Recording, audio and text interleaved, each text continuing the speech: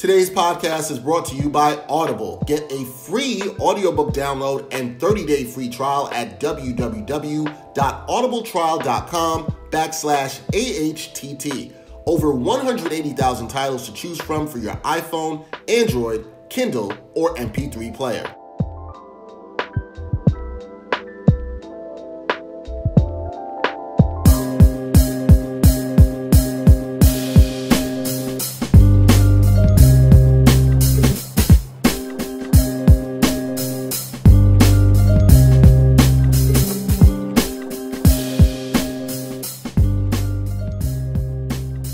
To Tell podcast, episode 106, second episode of 2020. Dexter Henry, Bryan Fonseca. Uh huh. And we had to bring our friend here because we got some serious stuff to talk about. stuff that's kind of frustrating. And I felt like nobody else was better to talk about this than our man Jamal Murphy, writer for The Undefeated, also co host of the Bros Pod. Bill Rhoden on Sports Podcast. He talked a little bit about the topic we're going to talk about on his podcast this week. First of all, Jamal, what's up? How you doing, man? I'm good, man. It's nice and warm in NYC. no, I'm, I'm, I'm, the serious guest. That's that's me. You nah, that's you can't joke around. No, no, no, no. Oh no, no, we, we oh, did no, we last time. Joke. Oh no, we could definitely joke around. Although I'm just you know of the seven times you've been here, and I think it's literally seven at this point. Uh, I think half of them have been kind of serious-ish. Yeah. Maybe. I, now I feel bad. I feel like we've labeled you the serious know, guest. Serious. I don't know if that's. Uh, I mean, I don't know if that's worse. problematic. It could be worse. It could be worse. You could be the annoying guest. Yeah, it could be like the, the clown. Yeah, nobody wants to be that. Nah, nobody nobody wants to be that. But the, the issue we are talking about uh, has been going on in sports has been it, it kind of starts around the, the Rooney rule, Rooney rule, excuse me, mm-hmm. uh, in the NFL, and it basically the question of is it working or not. Um, just a little brief history for those who do not know. The Rooney rule uh, was a rule that was created actually creators kind of forced upon because Johnnie Cochran, rest in peace, was going to uh, sort of make us think about the fact that there weren't a lot of black head coaches in the NFL back in the uh, a couple decades ago, about 15 years ago, and basically forced the owners, majority of the owners who are white, to at least interview one minority candidate per coaching search. Um, they started they started doing that, but we haven't seen much change. Uh, we look at this year. NFL season just ended. Black Monday passed. A uh, bunch of coaches, a couple coaches got fired.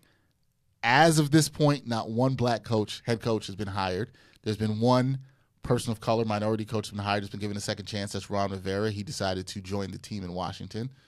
Uh, people know I do not say that team's name. Shout out my guy Ron Rivera. Good hire though. Good hire. Good hire. Yeah, yeah actually, Ron Rivera. Ron Rivera deserved and he's got chance. he's got Doug Williams in that building too. That they're going to be working together. So right. That that that which is matters. beautiful. Yeah. However, there have been plenty, as we can see, qualified black candidates out there or black coaches who have coached before who have not gotten a second chance. Mm. I'm looking at this. There's been a lot of discussion about it. It feels like it's increasing, guys. I think it's a problem. I don't know how much is coming to an ahead right now, but I think it's shameful. I think it's shameful on the NFL. I think the, I think the uh, owners, GMs that are doing some of these, excuse me, they're doing some of these hires should be ashamed of themselves what do you guys feel about where we are with with the Rooney Rule? Do you look at it the way I do, where it's not working at all?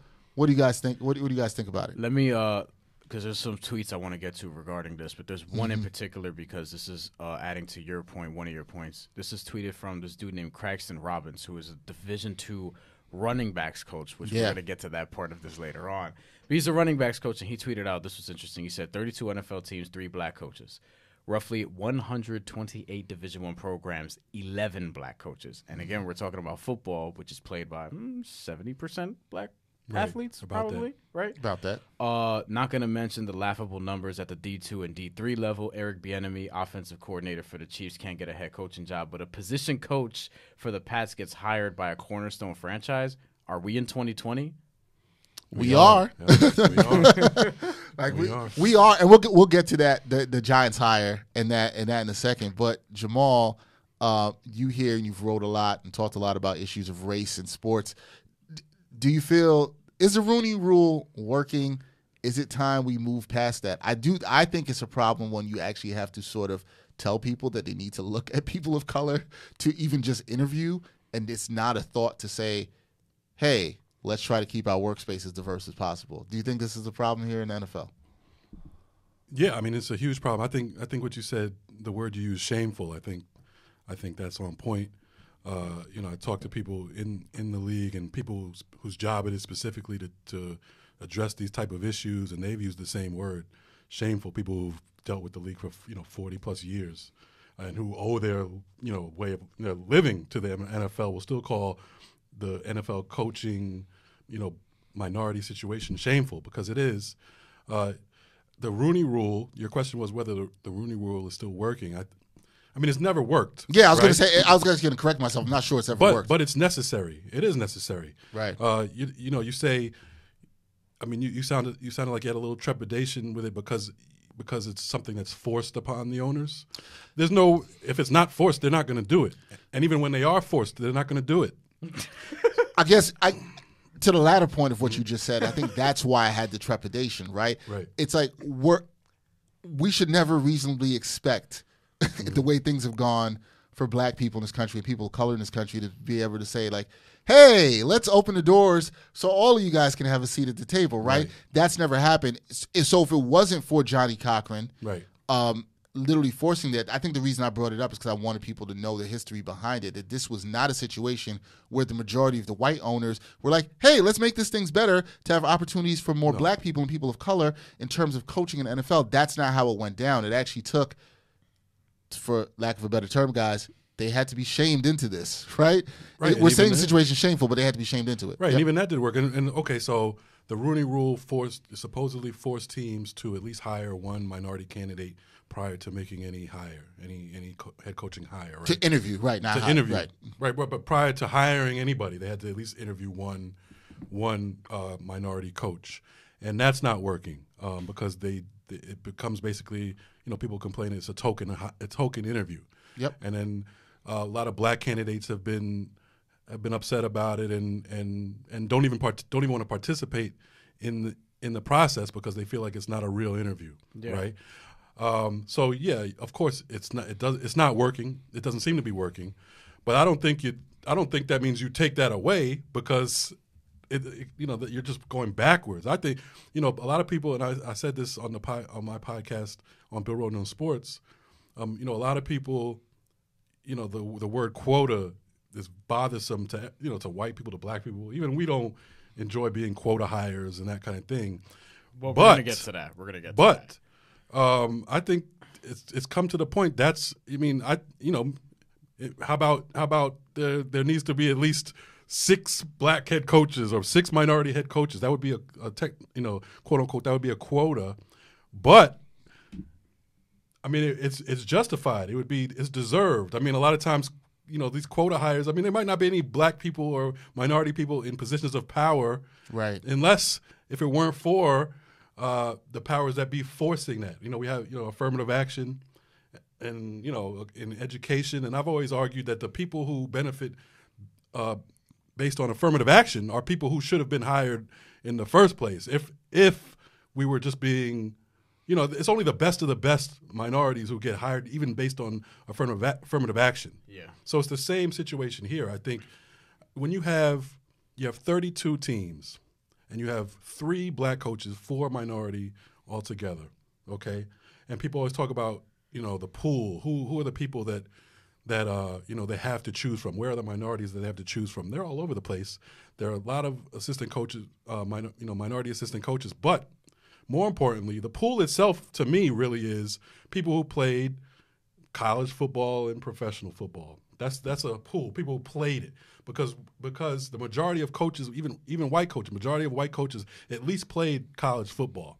Right. right? So you have so college football is about fifty five percent minority, right? Fifty five to sixty percent minority play college football. Seventy percent in in the NFL. So that's your pool. Yeah. Right. So you're telling me that I think so now out of I think nine percent. So you have a pool of what sixty to seventy percent of which of which of where your coaches usually come from, and you're only hiring nine percent, nine to twelve percent minority coaches.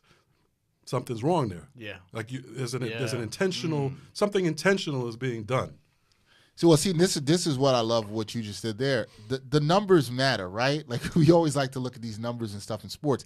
It absolutely matters. And when you put these hardcore stats in front of people, but what I've seen, and we're going to touch into this later, it seems like a lot of the black media or minority media has we're the ones having this conversation. You look across a lot This is what on the on time. these mainstream places. You look on E ESPN, a lot of these places. I haven't seen a lot of our uh, white brothers and sisters who are in the media. They're not talking about it. But why? right? But why should? uh, I mean, let's be honest. Like, why should they? Because they're protecting their own power. Right. And and and that also shows and I know Bryan you wanted to get on this. This extends beyond football. And I think that's a lot of big point of what we'd like to talk about today. This is not just a football thing. This is a thing for a It's- lot of people with opportunities in America. It's a total. It's an American issue because what we're saying about black head coaches and minority head coaches and their opportunities of getting into the NFL, it's the same thing that applies to basically every company across America. What do we know? We know media, right? So in our landscape, and we literally just talked about this a few episodes ago. Uh, Dexter and I did about the average just percentage of people who make up a newsroom across newspapers and other media outlets across America. And if you do the averages, roughly 75 to 80% of these newsrooms across the board are filled with white people, right? And the 25% black, minority, Native American, Asian, whatever, all of that is bundled up into the other sort of quarter of that, right? Mm-hmm. And if we're the only people fighting for it, fighting for equality or something close to it or talking about it, then that's just what it's going to be. That's just what it's always even, sort even of though been. even the number you're you're pointing to it seems high to me. I mean, you know, the 25. Uh, you know, most if you go to individual institutions, Yeah. if they have 25 percent. Well, they they definitely never have 25 percent African American I- or, or Hispanic. But- but here's when the- you when you when you encompass everything. But even then, 25 percent is high. A I lot of still- times it's like 10. but here, I've here- still never seen that. 5%. I've but never here's seen the problem. But here's the problem that I have with that 25 percent. So if if I go to an average staff, let's say the average staff is 25 people. Let's just stay on the number 25. We're looking at mm, maybe five of those people by that number are um, you know Hispanic, black, whatever the case may be, just of color. And then how many of those people are editors? Right. How many of those Well, people the are in positions of power, quote Right. unquote? How many of those people have authority to recruit, hire, and make those decisions? Maybe one.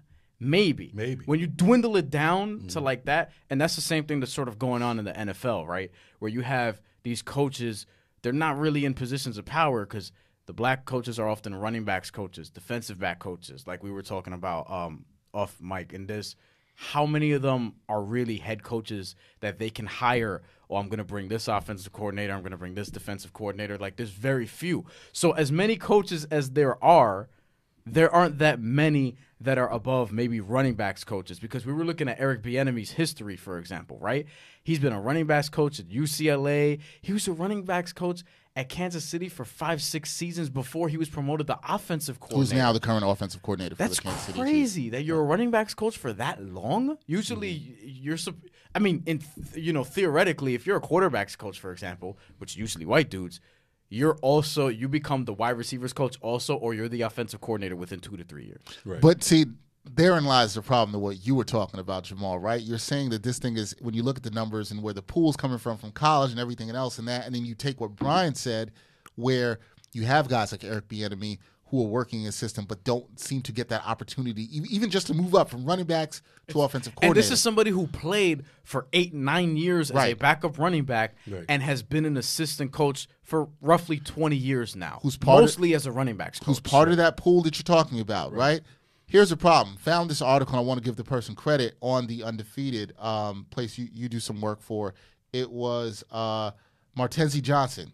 He did this great article about this new study about minority coaches still fare worse during the NFL hiring process. And one of the things that he brought up that I thought was really good was he was talking about the traje- what we have normally seen in terms of hiring. You either offensive coordinator, defensive coordinator, right? Most times, and then they'll usually they'll usually get you hired as a coach. Numbers tend to skew more towards offensive coordinators getting hired over defensive coordinators, right? Especially, hmm. especially recently. Yes, especially recently. Sh hmm. Sean McVay, you look at other other guys like this that has happened.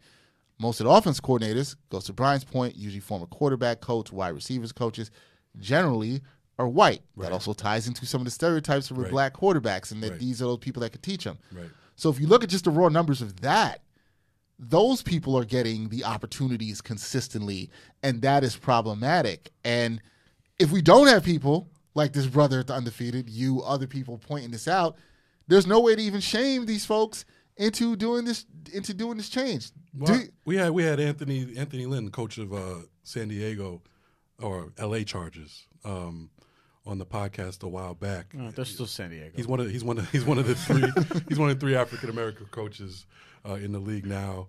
Uh, he had a rough year this past year, but he was 11 and 11 and five uh, last year, nine and seven the year Before, Oh. I bet he's on the hot first year. seat now, I was seeing I was seeing hot seat articles right this year. Insane. because because Philip Rivers because is Philip. Rivers is declining. Exactly. but what he was saying, Did you ask know, him about that? We, we, I gotta listen well, to that no, no. This was this was pre before this season Before the started. season. So Oh, this is okay. coming off his eleven and Oh, five. He okay, was on so, a high. yeah, no, Philip Rivers- when he wasn't on the hot seat. Yeah, yeah, He wasn't on the hot seat then. Right.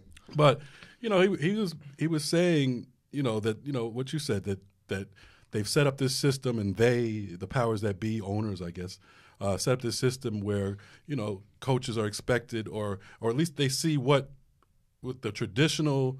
Uh, you know, career path was for, for white coaches was if you're an offensive, you know, you, you become an offensive coordinator or a QB coach or have something to do with the play calling, it's a faster road to the head coaching position. So, of, so a lot of black coaches were, you know, were trying hard to become offensive coordinators, or and then, but what he saw was even when that happened, as we see with Eric Bieniemy, they didn't, they still didn't get the head coaching job. And what he was mm-hmm. saying is that's that you know he felt that uh, that that you know limiting the pool to offensive coordinator or QB coach was misguided because you know through his experience it's about being a leader. The most important thing about being a head coach is being a leader of men, Yeah.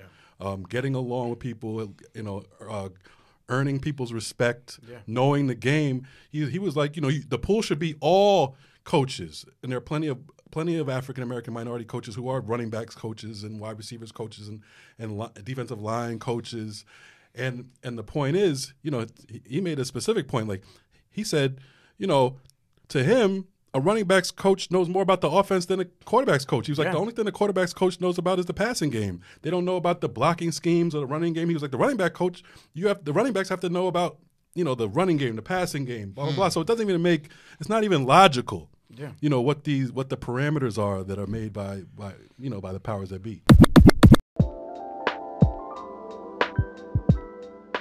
Today's podcast is brought to you by Audible. Get a free audiobook download and 30-day free trial at www.audibletrial.com backslash AHTT. Over 180,000 titles to choose from for your iPhone, Android, Kindle, or MP3 player.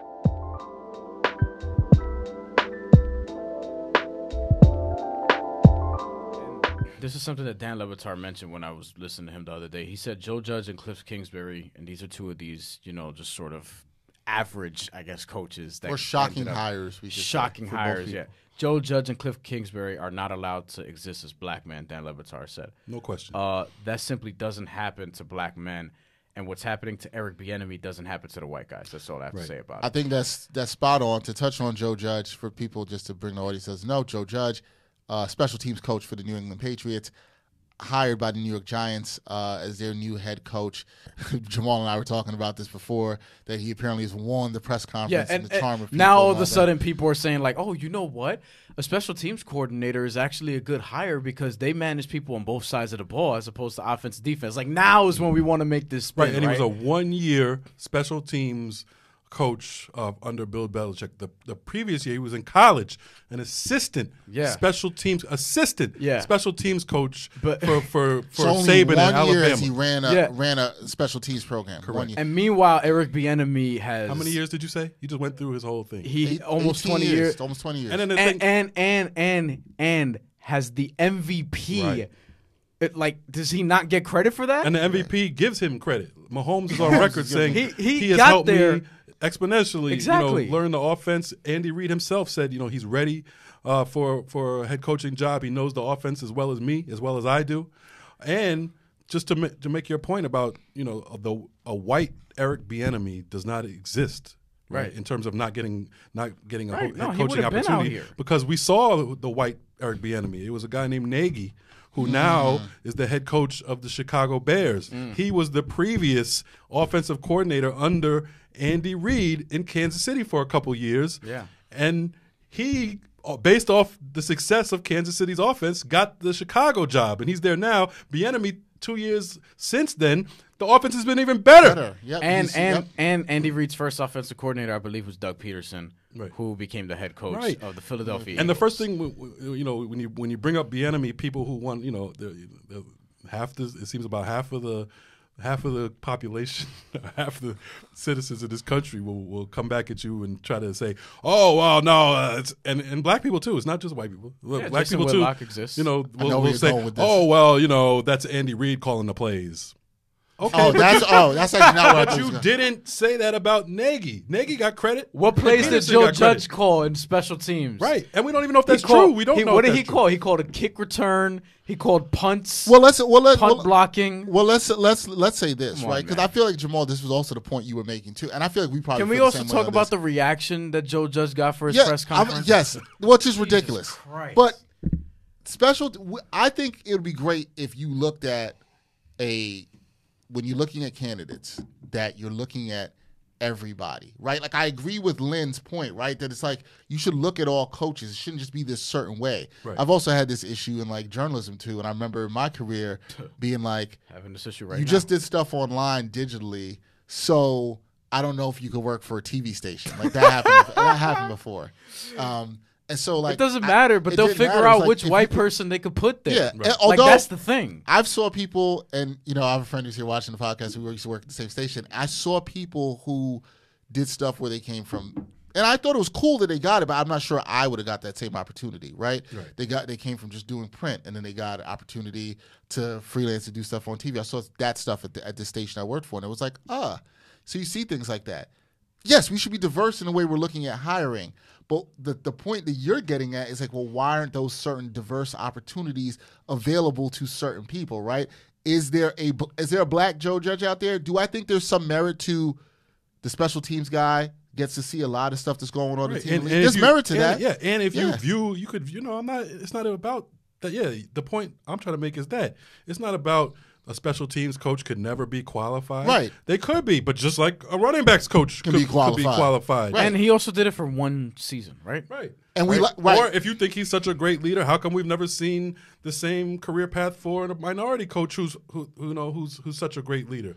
And that's my point about the pool of people because people want to say, you know, they they try to make excuses for it by saying, oh well, you know, there were there are not that many minority coaches on the offensive side, and that's who you know it's not our fault. that we we don't there's not that many of you guys to choose from. No, no, no, no.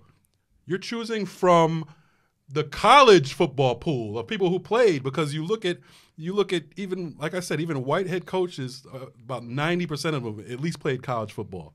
So that's really the pool. The pool is like players who become coaches, Coaches. or people involved in the team from Right. an early age become Yeah. coaches and there are plenty and uh, that's why it's different from it's a little it's a little worse unfortunately uh, than just regular society where you could say oh well there's only 12% african americans so really should there be more than 12% um, you know 10% or 12% in any given field in this field there's about 70% Yeah. or Right. 50 to 70% pool Yeah. you know so it's not even you can't even say that Yeah. because we're dominating one aspect of the pool that you and then all of a sudden you ignore that and act like that doesn't matter now Hmm. some of the narrative about Joe Judge, because I was looking at this earlier. Um, you guys know Kimberly Jones. She's an NFL Network reporter. She was there at the press conference, and she Hmm. noted that before the presser, Joe Judge shakes the hands of every media person and says he will try to help us do our jobs. Uh, comes across exceedingly well.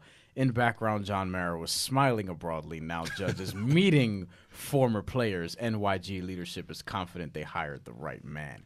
Ian Rapoport says you're starting to see why Joe Judge blew the Giants away in this interview.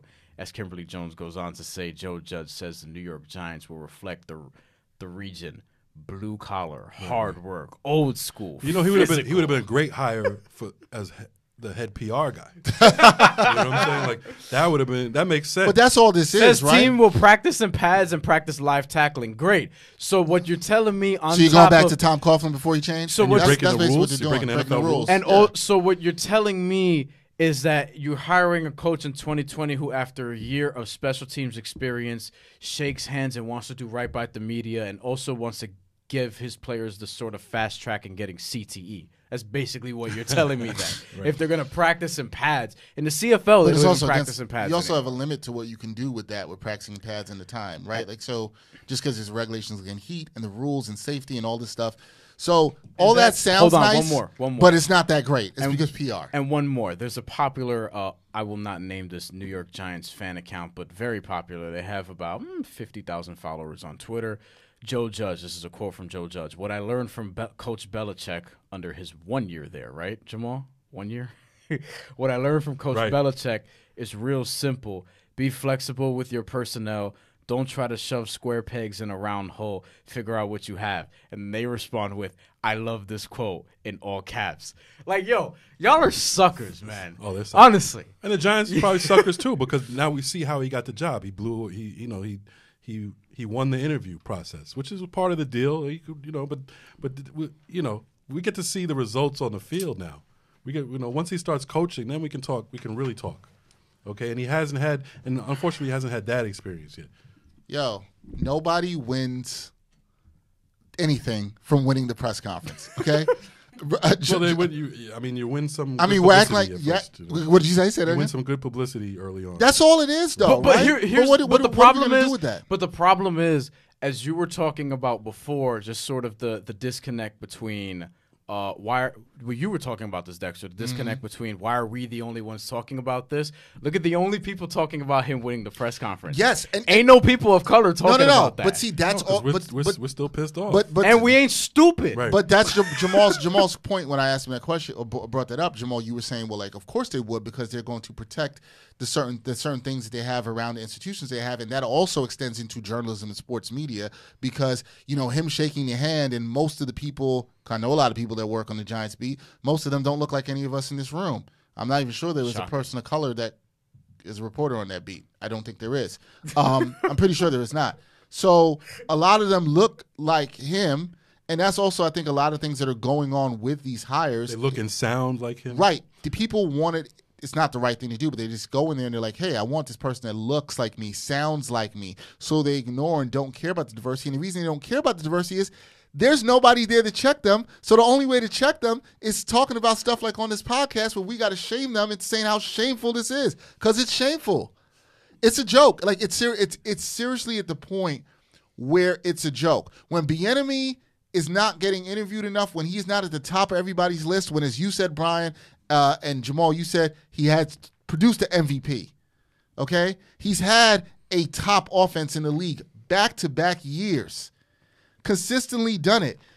This guy's clearly one of the best at what he does, and he hasn't got fast track to a job. We can't even say like, how do we qualify that Mr. Joe Judge was the best special teams coach? Was anybody saying that before he got hired? I And honestly, then you I didn't bring up- honestly you didn't never bring heard. up- Like, I'm not saying he doesn't deserve an opportunity. I'm just saying, does anybody was anybody saying? This? And not to, and not to pile on Judge. I mean, Rhule. I mean, he never coached. Can the we talk league. about Was- Rhule? what did- Baylor was. Baylor, Rhule? did Baylor go undefeated this year or something in, in college? Are they? Are they in the? Are They in the think he's championship gonna game- be- They in the championship game Monday. He turned him around from one win to what, 11 wins, and he did that in, in two years. He did that. So I'm not saying he hasn't mean, done a Baylor's good job. been good before. It's not like they've never been. good. Right, it wasn't like they were a down program Yeah, for I mean, a oh, decade. Okay, but let me let me put the, let me put this in another direction, right? Um, Todd Bowles, for example. Right. I feel confident enough of saying if Todd Bowles was a white dude, he'd probably get another opportunity soon. Do you think somebody like a Todd Bowles will get another opportunity at some point? Probably not. Uh, what, but what history tells me no. I don't need to. What- here's a, what- To- here's- to- what- history here's- says no. This one, wait, and you you mentioned uh, the undefeated article which referenced the uh, the report. The report was Arizona State University Global Sports Yes. Education and Research Lab. Ken Shropshire, Who you- was we've on your podcast multiple, multiple times. times, yep. uh, he's the CEO of that. So they you know they did a huge they did a lot of research on on black coaches in the NFL. One of the most interesting uh, stats I saw. Check this out. No team in the NFL has hired consecutive head coaches of color ever. So Oh, once once when they fire Oh a head coach of Like, color, we're no team has ever gone back to back with it.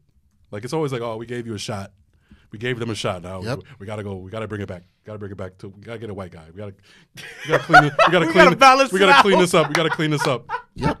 And I don't know if it's for the fans. I or think for some. I think in some I mean, look at- markets. look I at think the in some Jets. markets it is. Look at the Jets. They went from Rex Ryan. They were like, all right, let's try Todd Bowles. They Right. gave it four years. They're like, all right, let's go back to Adam Gase. Right, right. Now we're gonna go super white. We're But how, go right but how to the other crazy is that? Like, never Has this have there been have have has a team fired a black coach and then hired or uh, fired a minority coach and then hired another minority. I have a question. Right. I have a question we might not have the answer to. But remember before when I mentioned that tweet uh, from the running backs coach whose name is escaping me, where he said there Craig were eleven. Robinson. Yeah, Craig, Craig Robbins. Craig Robbins. Robbins. Eleven Division One uh, head coaches or whatever. I wonder, are those all from like the MEAC and the No, well, well, most. Well, in probably. Power Five, Power Five numbers are awful in terms of of, of black head coaches in college The- football. the- friggin- Basketball, too. You saw what Basketball, happened. too, yeah. Willie Taggart was just out after what a year and a half. You know, and they paid him to go away. Yeah. eighteen million dollars. and now I whatever think his he, buyout Where was. is he at now? FAU or FIU? I don't know. One of So, those two. I think so. He got another job, but Either FIU or FAU. Like, How, But now that's Tallahassee, Florida. Things are very different down there. if you've ever been, I can definitely say that. But so I'm not surprised. That's the part way of Florida that Joe Rogan wants to get rid of. I understand why. I sorry Tallahassee. I can And we'll see how why. long it takes them to hire another another uh, co- minority coach. minority coach. Howard Bryant, who's been tweeting on this issue pretty extensively over the past week. Yes. You brought up Matt Rhule, Jamal, Right. and there were people who were coming at him saying, "Well, this is kind of Matt Rhule or Joe Judge. They could be really good coaches, right? Like this Could is be. they could be." He said the position that Matt Rhule or Joe Judge may turn out to be good NFL coaches completely misses the entire point of who is given the opportunity. One, to succeed or fail, and two, to build wealth as head coach salaries usually dwarf coaching pay. Matt Rhule got what do you get? Five years, sixty million dollars guaranteed. It broke a record. Broke a record. This is a guy who's never had any NFL experience, right? He's just turned around Baylor, and he just got the ultimate financial security. He even mentioned Jason Garrett, Right. who has not been that successful of an NFL head coach, but he got 10 years in Dallas and got to accrue that kind of wealth. These are the opportunities that also aren't given to minority head coaches. So Matt Rhule is essentially the new Chip Kelly. Right. Could be. Could right? be. right? Because that because that's what Or it was. or Spurrier. Remember, We've remember seen Chip before. Chip Kelly was supposed to be this revolutionary because of all the things he did in Oregon and Right. stuff like that. Never had any NFL experience before. Got that. paid. He ex- experience that included what Johns Hopkins, New Hampshire, then was an offensive coordinator at Oregon, and then was the head coach for only four years. And then Philadelphia was like, you know what, man, you got the look. You got the schemes and all this stuff. Then after three years, he was fired. Then San Francisco gave him a run for a year, so he had a second head coaching job right away, and now he's at UCLA. And Or, UCLA sucks. or how about you could be out the game for a long time like Jon Gruden and you can get 10 years and $100 million. And I think a lot of it is, is along along racial lines. You know, I think white people when they see a young white guy have success, they lab- they put this genius label on them, Ugh. and that's a label that. Oh, wait, no hold on. black- Hey. no black. happens in media, too. No black person they would they could not fathom putting that label on a black person. it happens in media too. I'm trying to think about a, a young black coach in any sport that got that label of genius. You know, that's that's our friend Gerard Hector. I think part of his annoyance all the time with, with Brad Stevens and how people were so quick to anoint him. It's my guy, Uh, Brad. so quick to annoy him, right? You you, you brought up that's a great point, right? We Brad is legitimately we good, don't ever but- see that. No, but- I'm not saying he's not but- a good coach. He is a good coach. Hold on. Uh, Lloyd Pierce, if he was white, would he have gotten the genius label? Maybe, Maybe. You know what I'm Maybe. saying? Like, Maybe they, they they talk about the genius and development. Once of Trae upon Young. a time, David Fizdale. I know it sounds funny now, but he was an assistant coach in Miami, where they were a really good team. Would he have gotten the genius label if he was a white dude? Probably. Right. Like th- these are the things that people would think sound asinine, but it's true. Uh, also, does the does the NBA have this problem, or is it strictly an No, have- NFL, the NBA or a is I problem. like to say Nah, an American? The thing? NBA is a American. problem. The problem the problem with that goes into as well too, Jamal, is that again there isn't enough talking about it in the mainstream, right? There isn't a lot of it, and a lot of the problem with the NBA too is a lot of the people that cover it.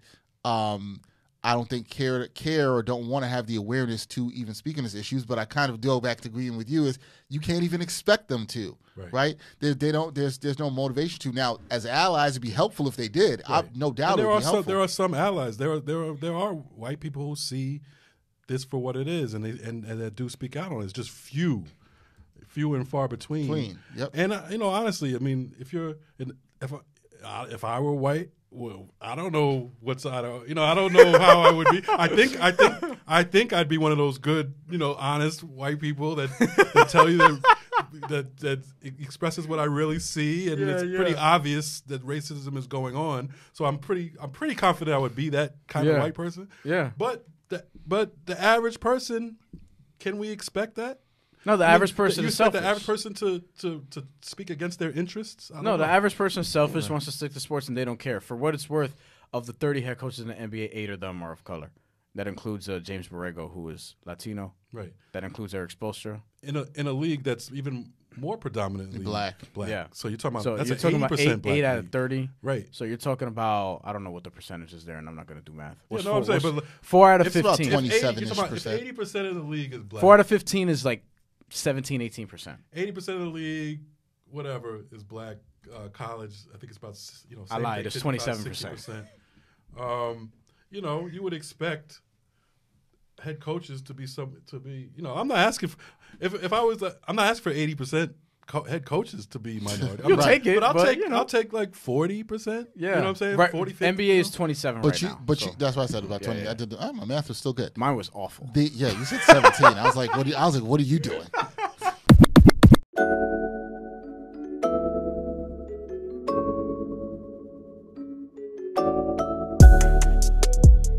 Backpack Broadcasting continues to bring you the best original sports content, but now you can get more of the content you love.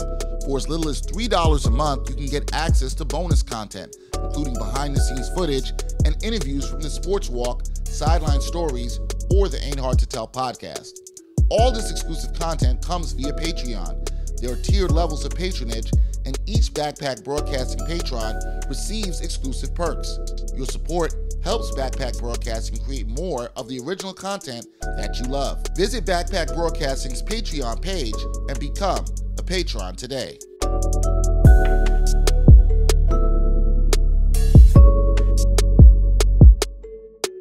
What about the pushback that you hear sometimes, Jamal, from people that's like, well, they're just out there hiring the best candidates. Yo! that's what they should Yo! do. They're they're just That- trying to hire. It shouldn't be about race. It should be about hiring the best people. See, Yeah, when, when you you do move- this, when you do, and people listening, they're not going to see what I'm doing. But when you do this thing with your thumb, that's that's that's some white shit.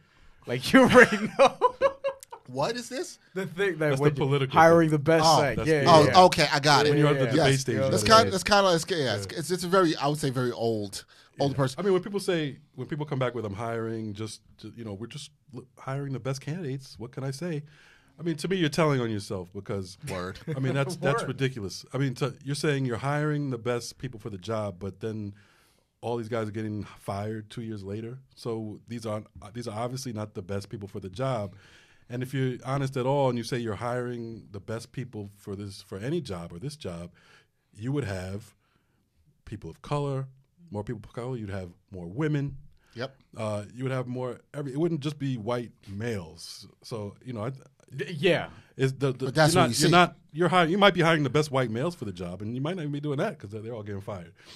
so Well, that's the thing too. Like they and they continue to get the same opportunities also. But as we talked about on the podcast a while ago, we were saying like, yo, uh, when it comes down to who's getting hired and people wanting to hire the best people, they're not actually hiring the best people because, as Jamal said, it would be a more diverse group because some of us are better than a lot of y'all doing Right. these things. Right, but they're just looking from the same groups of people, and this is what we see in sports. That sometimes the same groups of people. Another point is that uh, the white guys that get hired are getting the repeat hires. They're getting the opportunities again and again. Right. And Bryan, you brought up saying that hey, is this also a problem in the NBA? This is not just the NFL problem. MLB has this too. Full time black man. This is this was a Howard Bryant put out these these stats. Full time black managers in Major League Baseball history, fifteen. Damn. number that's it? yeah. Oh, base, baseball's got a number who were former All Stars nine, mm. who were former MVPs three. Mm. Amount of those who received a second job seven, but there's an asterisk by that because Cito Gaston was hired twice by Toronto, mm. right? Received the third job two. Mm-hmm. Right, it's like you look at Dusty Baker. Dusty Baker's name always comes up, but people always talk about, oh, he didn't win the big game, he didn't do this, even though his record is really good. Right. He's turned around a whole bunch of teams. Right. He's been a good manager, but that's all you'll, you know, you'll hear about. But they'll look over the the, the misgivings of some other coaches right, now. and they'll hire guys who never who never made the playoffs. Right, never. Right, w- Willie Randolph Yo. loved what he did with my Mets. Yeah. Has he got a second chance? Why? Why is that? But at least the Mets fired Mickey Callaway uh, after two years and hired Carlos Beltran. Like I, I'm here for that. I, I mean, I, you, as you should be. I'm excited another for that. another great player. Yeah, I mean, yeah. That Right. well, that that's the messed up thing which, about it. which, which is But- the which is the real point of Howard Bryant's that- point, right? That's at least the reverse, where we're like, hey, they got the white dude out of there and they hired the Puerto Rican. Yeah, guy. but- but- I'm but, saying. if, but if Beltran fails, will they will be Will there it's be almost ano- guaranteed right. that they will There not, will not be another person of color. Well, yeah, yeah, that's Right, true. there will not be. for the for the Right next at- ten years right after after. and and your about and. Jamal, your point about it having to be a great player was the point that I thought Howard Bryant was trying to make. You have to be, you have to hit all these boxes just to get an opportunity, Yo, but- even to be an MLB Yo, manager. but it- you have to be a great player, No, but just to do that. Forget that. That's the same thing in what we do. We have to check all these boxes. Right. And you have to do be do this. You have to have been here, but it's hard to get here because they have a lot of white dudes here, and they don't really have enough spots for us, quote unquote, here. So you have to do a lot of these things to get to this place and stuff It's like the that. stuff our You're out here us. getting all these all this experience on your resume. We know from experience. But then you see the person that actually gets hired to do the same thing, and you're like, But look- "What?" Let's go. Let me go back. I want to go back to this, uh, like to the Rooney Rule and what, what Yeah, yeah. done, and to what I was saying before about about quotas. Okay, I'm at this point. I'm all for it. You know, I'm all for them saying there has to be a certain number. I'm not saying this will ha- ever happen because they'll because one of the ways they protect against that is to shame us, to shame us into thinking that's a bad thing, right? Nope. Because we're like, oh well, um, I'll just be a token then. Okay. Oh well, but I have an opportunity, hmm. you know. So and then uh, and then a lot of those people, because again, they would if, even if they were a quota and they said you have to have this, you have to at least have this number of minority head coaches, hmm. right? A lot of those guys are going to succeed, right? Yeah, yeah, yeah, yeah. a lot of those guys. Oh wow! It turned out he was a, he was a good coach. was actually a good Yeah. coach. Wow. Yeah, no shit. Yeah, You know what I'm saying? Especially because they're only uh, well, I mean, to even get there is hard. So think about it. They're probably Right. only hiring the top of the top, right? Right. And they're not giving because enough chances because to other guys. otherwise they are not going to do it. Yeah. Okay, it's not going to happen Right. unless you force them. I mean, the one of the Which as we know has happened because of the Rooney Rule. Didn't happen unless that And one of the most eye-opening things with, with, for the article I wrote for the Undefeated about uh, Flores, uh, Yes. Brian Flores from Yeah. from the Dolphins. You know, I talked to Rod Graves, and he he's a former he was a former Jets GM. He was a former GM at, with the Arizona Cardinals, black black man. Mm-hmm. Um, now he heads the Fritz Pollard Alliance, which is a, basically an organization trying to deal with the minority issue in the NFL, trying to get more coaches of, of color in there and all that. One of the things he said to me is, it's just like, um, you know, it really stuck to me is like, just like anything else, diversity. In order to fix diversity, in order to address diversity, you have you have to make an you have to make an intentional act. There has to be an intentional act to deal with it. It's not going to just change on its own. It's not going to just change. Um, people aren't just going to you know come to some kind of epiphany and start hiring. These guys aren't going to just start hiring minorities. Right. Not gonna happen. You know what I'm saying? There has to be a you have to realize it's a problem, and and then specifically address it. So that means you're specifically hiring minorities, or at least opening yourself up to it. You know, and and we've already the Rooney Rule supposedly open tried to open the door to that, but they've you know it hasn't worked. So that what's the next step? You have to be even more authoritative. The act has to be even more intentional. So I so that to me that's the next step. You you have if they're not going to do it, so you have to force them to do it. How do we? The question people are going to ask then is, how do we force them to do it? Is it Keep continuing to them. continue to shame them? Like, is it continuing for us to have these conversations, pushing it out there? You know, uh, White people e- gotta step up, yo. Shaming out white media members who don't it. talk about. Because I We know do that already. We've been doing We've that. Been, do- we've Yeah. been The doing Rooney it. Rule is supposed to shame you.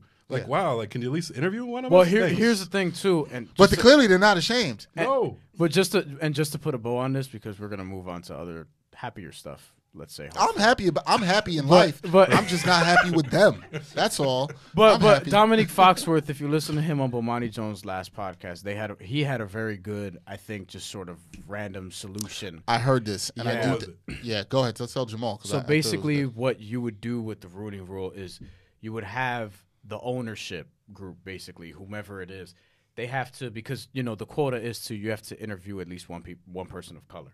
So what you would do is you would write down why you're bringing in not just them, but every single interview you have for the time you're hiring a coach. That period, you're ha- you're interviewing everyone and you're writing down why. And then after you make your hiring decision, you have to write down why you're hiring this person and then why you're not hiring the other people. You have to basically put it all in writing. this all would be because public. then this way you can't be like, oh, he just looked the part, because then you're gonna look stupid. Right. You know what I mean? Like it, it just makes a lot of sense, and I think that that might, even though it might just be BS statements, Right. No, we like can that. at least see that. Right. So then we can see through that and expose that part of it, and then maybe when we're all, you well, know, at least we can see the thinking, and at least if you are, they think. So let's say, let's say you're saying that you're biased here because we do we have agreed and talked that there are biases here in the way this process goes about. Right. Let's say that you're like it's not conscious, which I don't buy. I think it is conscious, so I don't buy all that. And right? It doesn't even matter. It doesn't matter, right?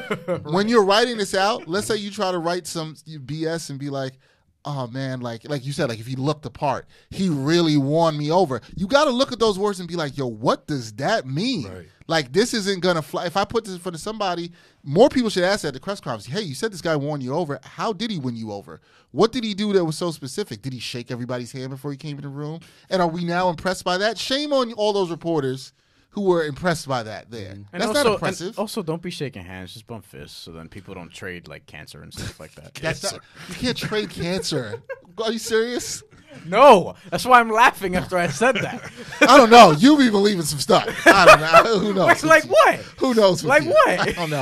That wrestling is real. I don't know. No, no, no. Relax. Hold on. Hold on. Hold on. Hold See, on. we got on. it. We got it. No, no, no, no, no. We're not. No. First of all, I'm not gonna let you do this with WrestleMania season on the horizon, sir. It's the Royal season. Rumble is next week. Yeah, WrestleMania is. Jamal, season. when did you grow up and stop watching wrestling? Stop watching wrestling. When did you become an adult and say, no, "I'm not going to do that"?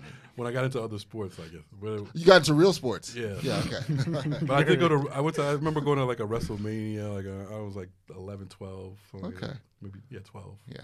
You're a dick. Um, people have said that about me or worse. Oh, so I get it way worse. I get it way more than I mean, you. there do. are- I mean, You're there- a nicer guy There than are, me. there are, I mean, there's a lot of wrestling fans out here.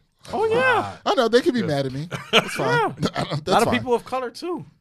Okay, yeah, that's really going to get me on the side of those. 12% of wrestling We connect fans with are that people of color. color. That- Twelve? No, I'm No, it's just Oh, oh, I was gonna say it's more than that. I don't Yeah. know how much, but it's more than that. No, but yeah, but do you you, you feel like we just have to continue uh, uh, uh, pushing this issue, but, Oh, or, yeah. or how do we get to that that spot where we have to where they can make that real change? Because I agree with that brother, uh, Mr. Mr. Graves, and what he said, and we, there has to be actual action here, right? Like there has to be. Hey, somebody has to say we want to do this. I don't know which owner that's going to be because it does fall on Well, ownership. one of the owners is uh, what Stephen Ross. Uh, My, the Dolphins. for the Dolphins, who's had you know he's been on both sides of issues. He's had he has Yes. he's had his problems too. But but you know he you know with the hiring of Brian Flores, it was reported that you know he tried to take. You know he tried to he tries to go different areas. He tries to understand uh, different people's uh, points of view. Remember, he started a foundation, with the Rise Foundation, I think it is. Yeah, yeah. Uh, you know, to deal, you know, to, to deal with more issues that affect minority. And then uh, Kenny Stills was like, "Yo, what, Right. what you doing?" Right, so he's been on both sides, but but at the same time, he he support. He I think he supports Trump at least monetarily in some ways. Yeah. Right. So Yeah. there are issues on both sides, but you need either that, you need owners uh, to start thinking differently, or to be forced to think differently, or to to be influenced to think differently, or you need different owners, or you need more minor- Well, that minority but that's owners. that's that's where it starts, and not just of the NFL teams, basically of all sports teams, of companies across America. You just need new people in charge. Right. You just need new people that are making these decisions. You need new ownership across the board. Right. And right now, uh, the people that grew up with money, mostly white people from back in the day, they're inheriting that now. So Right. it's their generation that is in charge and making all these decisions across the board, not just in the NFL, but in just anything in I mean, general. the real issue is is deep. yeah, yeah, yeah. Yeah, it's it's, like So it, it- it, it's be- it- it began before slavery, Right. And it's still, you know what I mean, continues and systemic racism right? continues. But that, that's the starting point. But if you tell if you tell certain people that, they'll think you're bugging. But like, no, that that that sort of we're seeing it now. No. it's there's still effects of it now, That is and no it's question. going on all over the place in terms of looking at who's getting said opportunities and such. Right. Now the question is, y'all are bugging. You don't want certain people to have were- a seat at the table. Seriously, if there were no slavery, there would no there would be no need to have a BET and a Revolt and all these other black-owned sort of enterprises. Yeah, but but we need to, and we need we have to continue to talk about it because, as Jamal said before, we can't expect uh, other people to talk about it, and they're not going to shame themselves. So, yeah, it's shameful. We're going to shame you.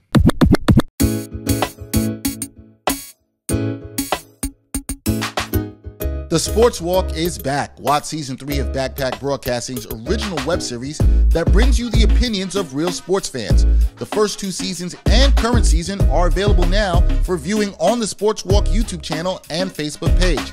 Check out the 2017 NYC WebFest official selection and see what other sports fans have to say on the hottest issues in sports today. It's easy, just take the Sports Walk.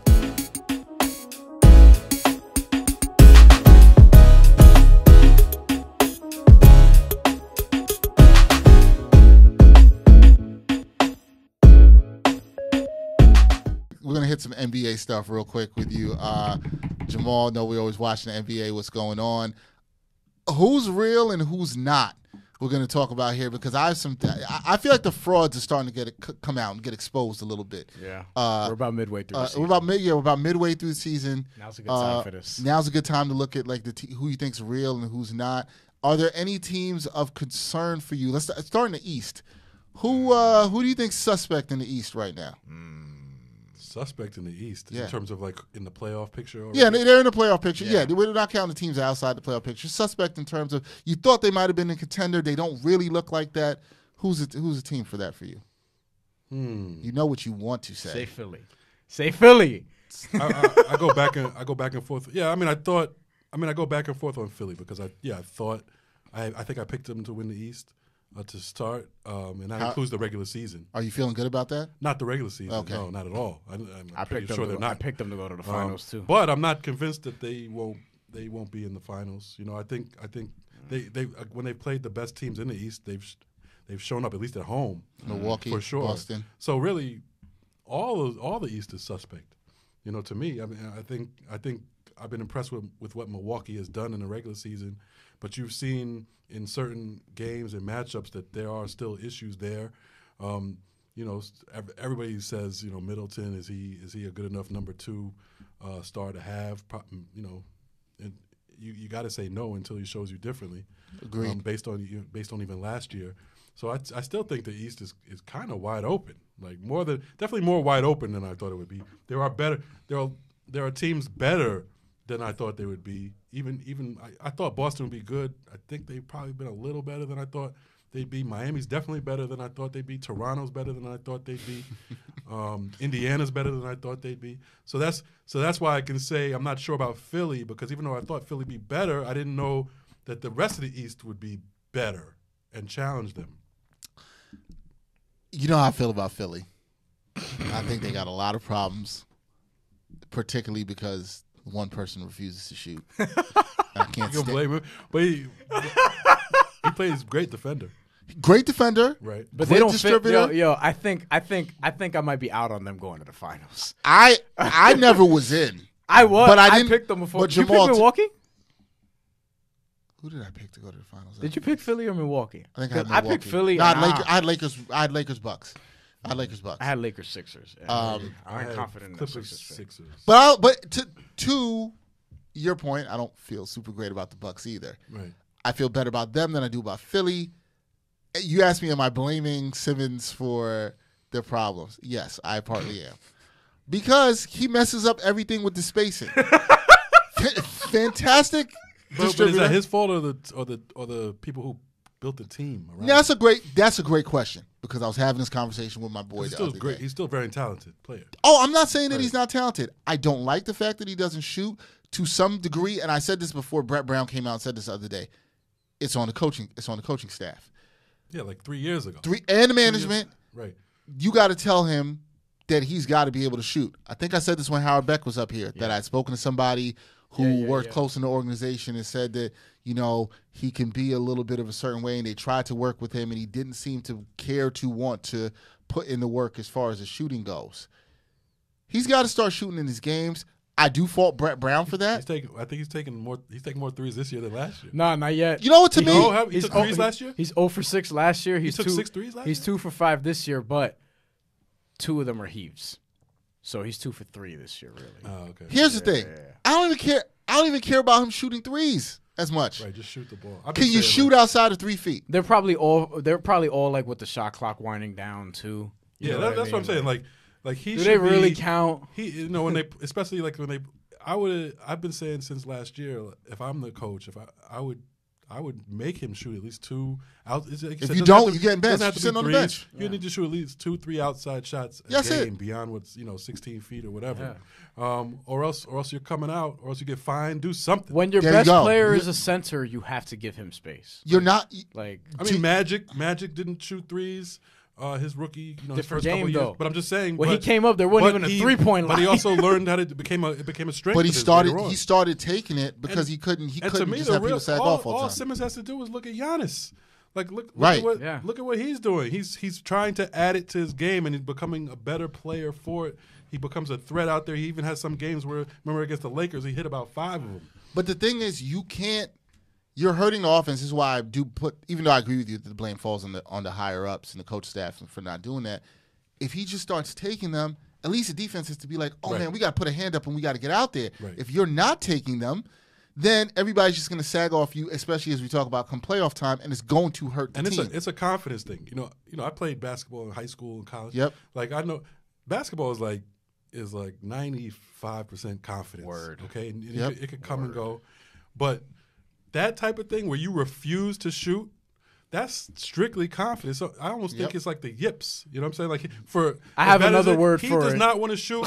I've seen. I've been. I've watched Philly games where you know he's setting screens and stuff, and someone's supposed to pop out. He won't even pop out because Yeah. he doesn't want to shoot. I have another word for it that I've said in our group chat that I'm not going to repeat on this podcast. Yeah, yeah. You, can, you know. The- Um, the- if- but he- the, here's the thing that concerns me, real quick. I'll say, Bryan. Do you know what concerns me? What happens? I brought the scenario up to a friend the other day. We get into a playoff game. Sixers are down two or three. They got the ball. No- Twenty seconds left. No Jimmy Butler they're, mo- save they're them. moving it around. They're trying to get a good shot. They get it to Embiid at the top. He, double comes on him. The right swing for him to make is to pass the ball to Ben Simmons, who's right there at the three point line, and he catches the ball with three seconds left. He's going to drive in and look for. That's Josh what my Richardson. friend said. charge. That's what, and Rex Chapman will be all over that. That's what that's what my friend said. He said he's not going to take He's going that to shot. drive in and pass it to Tobias Harris or Josh. Well, that's what I'm Richardson. saying. Like in the regular season, then I they're heard, gonna- and, and Scottie Pippen said the same thing recently.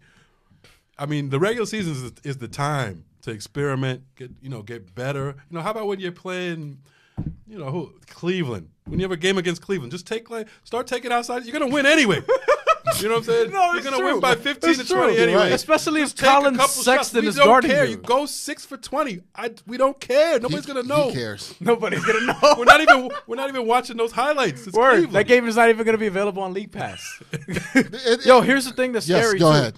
Uh, because people were talking about how historic they could potentially be defensively and things like that. They're fifth in the Eastern Conference right now. fantastic defensive So team. let's play this game. If the playoffs were today, right? Because the standings could pretty much like be roughly the same by the time we get to the end of the season. Uh, Detroit's not even in the playoffs. They're fifteen. They're fourteen and twenty-five. Terrible. Uh, your New York Knicks are inquiring about Andre Drummond. I don't know why. Don't know why. Uh, that is very. int- you're you're hanging on, bro. You couldn't see my face when you texted me about that yesterday, but man, Mike, I think Mike Miller's coming back down to earth. I Yo, don't know. here's the thing too. Here's the thing too. It didn't make sense to me when I heard about it, and then you reminded me. Oh yeah, Mitchell Robinson is on the team already. I was like, oh yeah, that's I, I can't even They get probably my tra- energy they can't even go trade to that. Mitchell Robinson for him. No, no. That's probably what they would do. Jamal, please. so so. And, and, Um. and Barrett. No, I'm just playing. Oh, by the way, how do you feel about Trae Young doing what he's doing on an A-win team? I don't mind it. I, I've, I've heard the backlash. he's still an Um, all star. They don't have. They, first of all, they don't have anything around him. I know, but they're sort of, but they're sort of setting him up to be like, yo, just just do whatever you want. I mean, he's doing he's doing what Luka Doncic is doing, but it, but if, but Doncic has a good team. He's got better role players. You know, I bet, I bet you their usage is about the same. I just asked because I know that's your boy. It is though. Um. Oh, Trae Young might have the highest usage rate in the league. Probably. but but probably rightfully so. Who's he going to pass to? Allen Crabbe. I don't even think he's healthy. Nope. DeAndre Bembry's like their second best player. No, Jabari Parker's like the second best player. After That's- no, John Collins is back now, but it was. But I uh, always did worry. Go just to touch on that. I always did worry about how he got along. Remember last year I brought that up. Like he had hit a game-winning shot. And It Oh. was the oh. first time ever I had seen somebody hit a game-winning shot, and no nobody on his team came to congratulate him. it was the craziest thing. I was like, I was watching it. I, I rewound Yeah. I I, like remember you rewound told it. I us was that. like, wait, You were he like- just hit a game-winning shot, and no one came over there. Yeah, yeah. It was the wildest thing. So then you hear now that you know the, the I could there's see that, trouble in though. the locker room. Yeah, I can see He that. need- He needs to be. Uh, he needs to become a little more mature. This- Like to me, as a point guard, I, I think, Mm-hmm. and it's a quarterback too in football. Yeah. Well, you talk about Russell Wilson. We were talking about him uh, before the show started. We were talking about Russell, Russell Wilson being, you know, he's a little corny or whatever.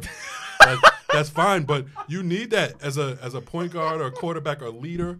You need to say, you know, sometimes. You know, you throw a great pass and the dude drops it. You need to be like, "Oh, my, my fault." That was a Yeah, bad pass. and then say "Go Hawks" Or at the end of every yeah, sentence. Yeah, Yeah. you know what I'm saying? Or you throw a pass, perfect pass, the dude drops it. No, no, no, my bad. Yeah, my yeah, bad. yeah. That's what leaders do. Yeah. So I think you know Trae, or just pass the ball sometimes for no reason. Like I just took two shots in a row. Oh, oh, I'ma let this- me I'ma let this me guy cook for a everybody little else involved. But that's Right. where I think uh, guys like Steve Nash are underrated historically course. because he was great at that. and That's this is- huge. because his all of his teammates love him for Right, that, right. and that's why the Suns were as good as they were for that long period of he could- time. like You the, the pick people great up. leaders do that. Pick people you up, gotta make them do, better. You gotta Yeah. do that. Like Yeah. we hear stories of other point guards like getting into confrontations with teammates, and then there are like others that don't. So that's kind of interesting. Um. Anyway, top eight.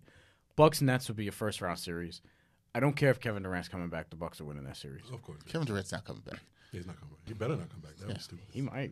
He's not coming back. All right. Be a repeat. I know y'all tore y'all Achilles before, but look. I No, mean, I, no, but I will say that that he um they've they've been reports that he's recovering like extraordinarily fast. I I believe it because at at pre with at media day Yeah. he's walking around doing toeless. I was like, wow. I was like, Yeah. that, this is early to be I, doing that's why I that. think he might play in April. I, look, you I, never know. I'm skeptical. I don't trust people, so I think I think they, they can say what they want about. Oh, he's gonna he's gonna sit out the whole season. Like, oh, okay, okay. I We'll ruptured see. mine. I think probably ten years ago. I still can't do a toe raise. No, I'm just joking. Oh, I was gonna- I, I was like, I was like, But I'm yo, still, you- I was I'm like, still yo, you I'm okay? still like hesitant. Like, oh, yeah. is- No, I, I, I get it. Yeah. So Bucks Nets, um, Heat Magic. The battle for Florida. Uh, it's not. It's not really a battle. We're gonna we're gonna get to the Heat in a second. Oh God. Uh, we're gonna get to the Heat in a second. Celtics Pacers. That'd be a, a good series, but I'll take the Celtics. Victor Oladipo is gonna be healthy. That's true. That's, that's, that's a little I'll take the Celtics. And so but- Sixers playing. and then Raptors Sixers. That could be fun. Raptors uh, would be home right now, midway through the season, roughly. If if the Sixers are healthy, I still still think they'd win that series. Sure. I mean, Um, sure, we'll see. But listen, that but that's what I'm saying. It's like, all right, we'll go let's assume let's assume the Sixers win, right? Even though they might not. They'd get the Bucks in round two. That's what they don't want. now. But the thing is that. But see, the thing about that, I'm going to say this now, halfway through the season. The one thing about the Sixers, there's certain teams I don't like to match up against them. Miami concerns me against them, but there's certain teams they're built to beat. Boston's got problems with them because of their size. Boston right now cannot beat them, I don't think so. and Milwaukee they can give problems because of their size. I saw it on Christmas. I think that's why a lot of people like you guys picked them. I understand why they picked them to get out the Yeah. East. My concern, the team, the two teams that concern me. I said Miami. The other one, if they match up with, is Indiana. Those two teams, because of the way they can play with their bigs and space it out, they concern me. And they have good guard play that can put some pressure on Simmons. They concern me, and they're good defensively enough that with Simmons not spacing the floor, it'll hurt them. But but Philly is really, really beat to build Milwaukee with this size. They can throw at I was Giannis. say that. And I think they can also shut down and make life hard for Middleton. And we can see Bledsoe disappear again. And then it's like you look at Yo. Milwaukee and you're like, uh, I don't really know. Here's the thing.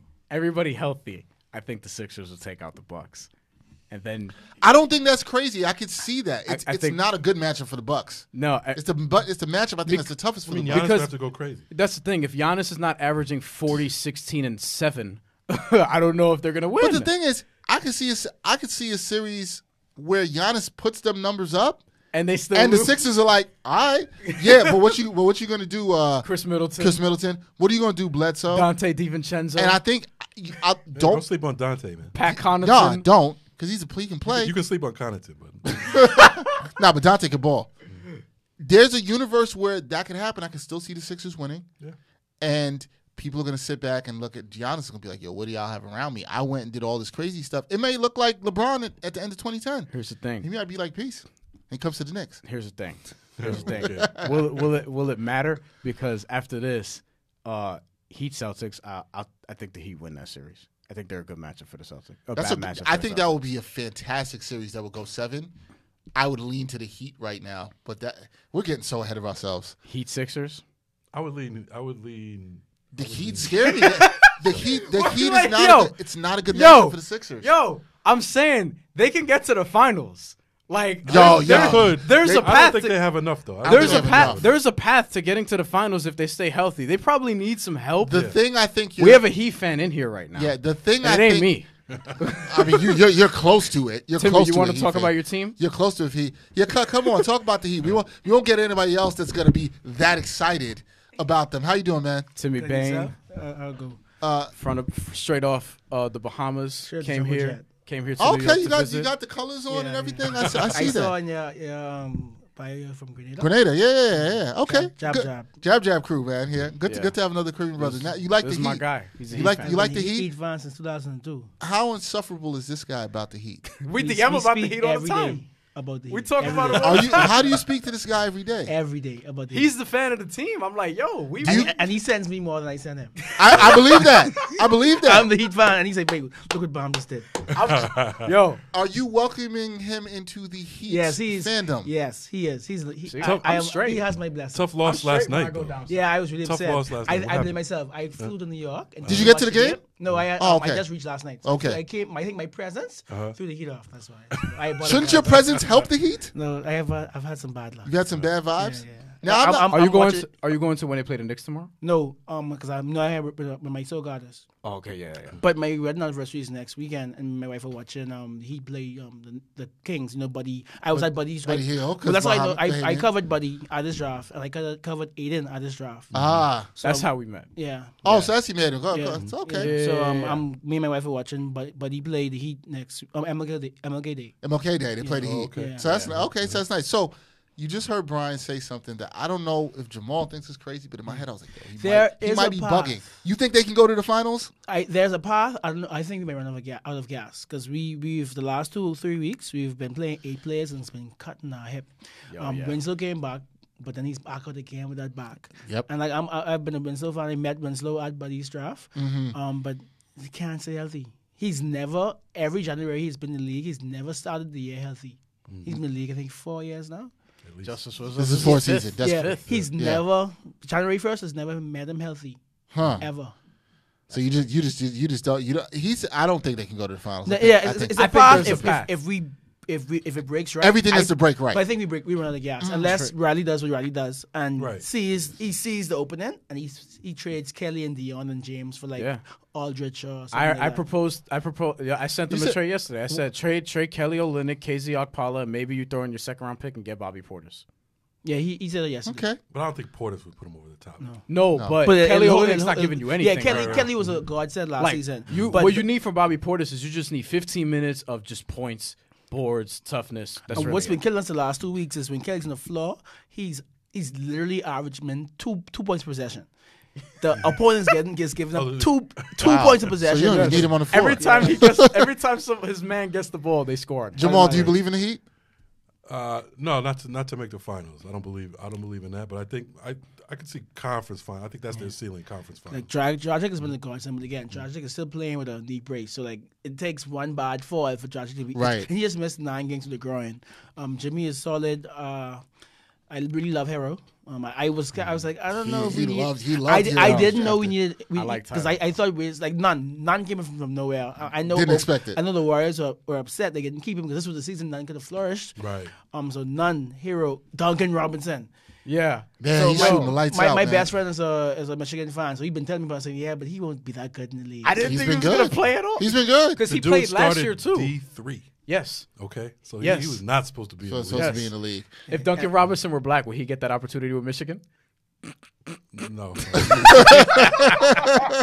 Go back to our earlier I discussion. had, a, I had a I had a Beilein joke, but I'm gonna leave it. alone. Yo, he's playing like a slug. Even though We don't even need to get even into though that. I'm not sure about that. I'm not. Yeah, like, I'm not a I- hardliner. Or I'm like, wow. I, I met Beilein. I've talked to Beilein multiple times. I never got that. Not that it matters. You, Yeah. know, you don't Right. really know. You don't really know someone. people. But uh, but His you the rationale doesn't make any sense. How, I mean, well, how, Sexton said that, that he use he uses slugs all the time, supposedly. Who says that?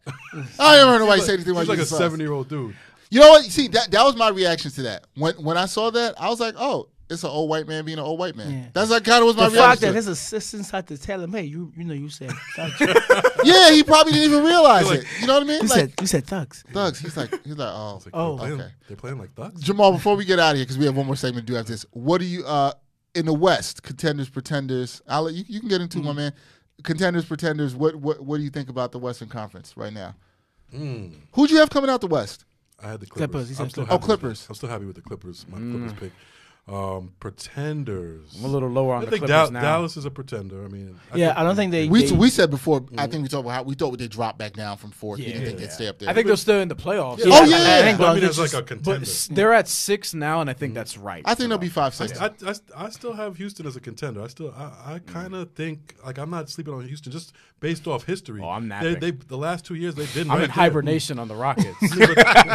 That's it for this uh, episode of Ain't Hard To Tell Podcast, episode 106. We want to thank our friend Jamal Murphy. Thanks Catch out his me. work, uh, writing for the Undefeated. Also on the Bros Pod, they had a great episode this week, also talking about the issue in the NFL. So if you want more discussion on that, I please highly recommend uh, you listen to that because they also had I'm forgetting my man's name who, Ken who runs Shropshire. Ken Shropshire who uh, runs the, the research Kavitha Davidson. and Kavitha. Davidson was also on, a great writer as well too. Um, that that was on as well, so it was definitely good. Um, Bryan, we thank you for being here. We thank you, my Bahamian Timmy. Timmy. Appreciate that, my man. For that's coming literally on. his Twitter name. Yeah, That's fine. You follow, yeah. you follow me, right? Yeah. In a Yeah, lot of yeah, in a lot yeah. of letters and all caps. Yeah, in all caps. yeah, You yeah. follow me. No, no, no. I, I, I know you. I know you follow me. So do that. Look, man. Anytime we can have more West Indian folks up here, Caribbean folks up here, I'm happy. My, mom, sister- my my mom's from Grenada too. That's, Actually, that's, I forgot about that. That's, right. dope. Trinidad Tobago, but grew up in Grenada. my sister Nicole came here to watch the show, to watch the, the, the recording and taping. Uh, Trinidadian represent represent. So we have a lot of uh, Island people. island people. and I'm actually here up for the in weekend. Um, my artist recording some new soca track. So Oh, really? Yeah, okay. what Yeah, he got an artist. That's Oh, you got, he's in here. I gotta Yeah, check it out. Yeah, man. Pro- promote that. What's that? Yeah. Um, so her name is Jamie.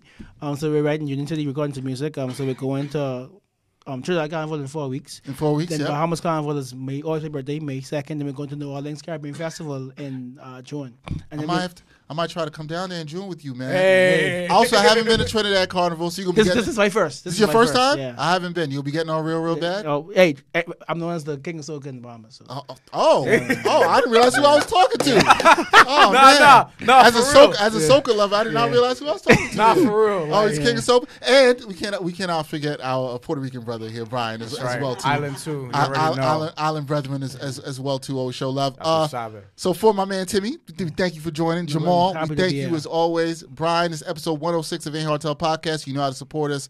Uh, follow us on Instagram, Twitter. Uh, continue to support us. We'll have some extra content uh, coming out soon on Patreon. For episode 106 of the Ain't Hard To Tell Podcast, I'm Dexter Henry. Until next time, y'all. Peace.